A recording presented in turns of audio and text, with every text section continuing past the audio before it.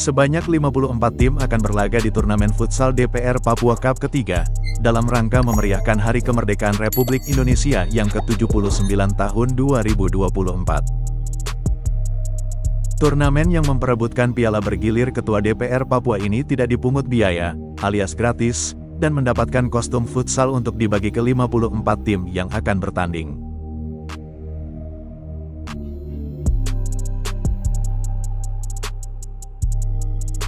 Laga ini juga akan dihelat di tiga lapangan yakni, lapangan futsal DPR Papua, lapangan futsal Mutiara Hitam Polimak, dan lapangan Mega Futsal Abepura. Ketua DPR Papua, Joni Banuarou mengatakan, sejak menjadi Ketua Dewan Perwakilan Rakyat Papua, menjelang HAT RI selalu diadakan event-event menarik.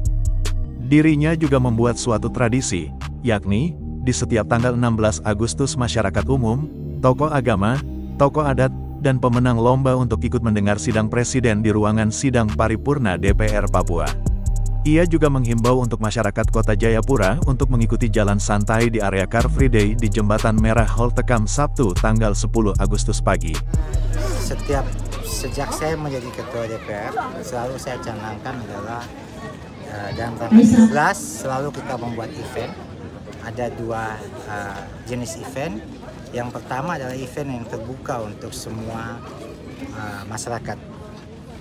Jadi masyarakat bebas uh, umum boleh datang mendaftar dan ikut kegiatan di dewan.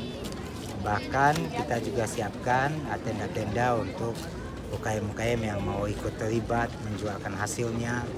Dan kita juga ada pertandingan-pertandingan seperti futsal, uh, jalan santai, uh, fashion show dan beberapa ada perahu hias dan sebagainya. Itu selalu kita lakukan tiap tahun ya.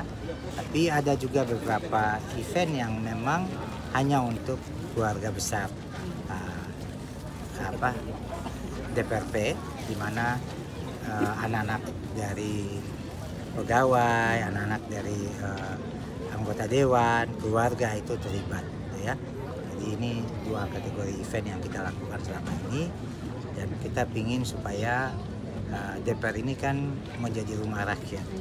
DPR bukan tempat elit untuk orang takut masuk. Tapi siapa saja boleh datang di sini, bisa menikmati pembangunan yang ada di sini, menikmati fasilitas yang ada di sini, dan mereka bisa tahu DPRP itu seperti apa.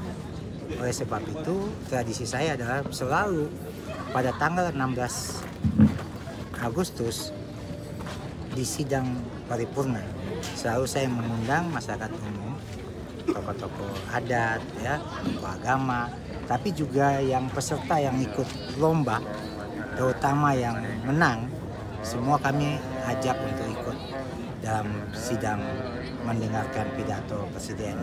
Itu adalah tradisi yang selalu kita buat karena belum tentu ada uh, masyarakat kita yang mungkin belum pernah masuk di ruang sidang paripurna, mungkin juga belum pernah masuk di lingkungan kerjanya DPR, merasa DPR, DPR terlalu elit, terlalu uh, apa jauh dan mereka. Nah, ini yang kita berharap dengan event ini kita selalu terbuka untuk semua masyarakat boleh datang. Dan saya himbau supaya masyarakat uh, umum silakan ikut partisipasi dalam event-event kita, lomba-lomba kita, di mana hari ini kita buka event futsal ya dari yang biasanya 32 hari ini menjadi 54 uh, tim dan semua 54 tim itu saya berikan uh, hadiah pendaftarannya gratis tapi juga diberikan kaos uh, pertandingannya. Juga besok pagi saya himbau kepada semua masyarakat Kota Jayapura yang mau ikut sama-sama kita jalan santai ya di apa Cafe Day. Di Jembatan Merah ya. Kita akan start di Jembatan Merah. Dan kita berharap uh, masyarakat bisa partisipasi. Kita juga siapkan di sana ada door prize ya. Satu buah unit motor dan device yang lain. Juga uh, kita akan siapkan kupon. Saya akan siapkan kupon untuk uh, uh, kupon itu akan dibagikan kepada setiap orang yang ikut.